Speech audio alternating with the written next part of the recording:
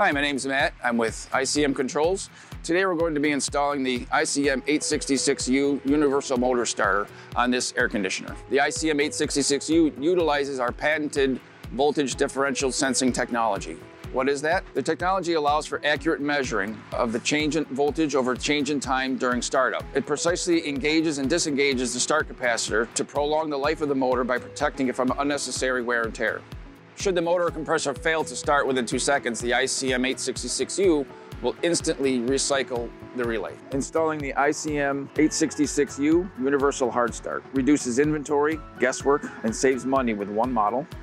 Voltage ranges from 90 to 240 volts.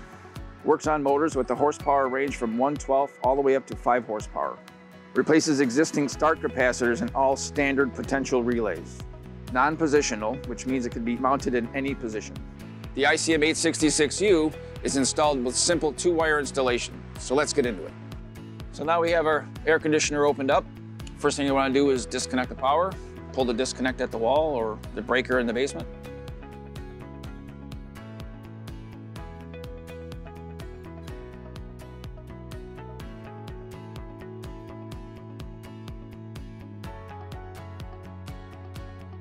So first we're gonna wanna do is pull the main disconnect for the air conditioner. And you're gonna wanna find a nice clean area to work with enough room to uh, mount your motor starter. So in this air conditioner, it's gonna be right here.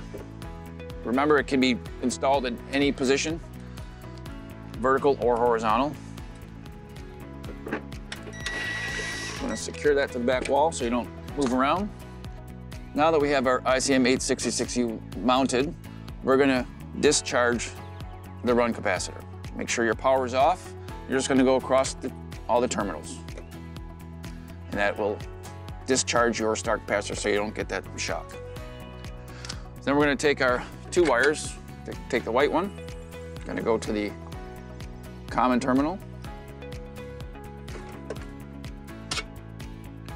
take the black one, go to the compressor terminal, or the HERM hermetic. And that is all there is to installing the ICM 866U. Now that we're all done with the installation of our hard start, we're gonna wanna put the disconnect back in, test the air conditioner out. So that wraps up our installation of the ICM 866U on this residential air conditioner. For more information on this and other ICM products, visit icmcontrols.com.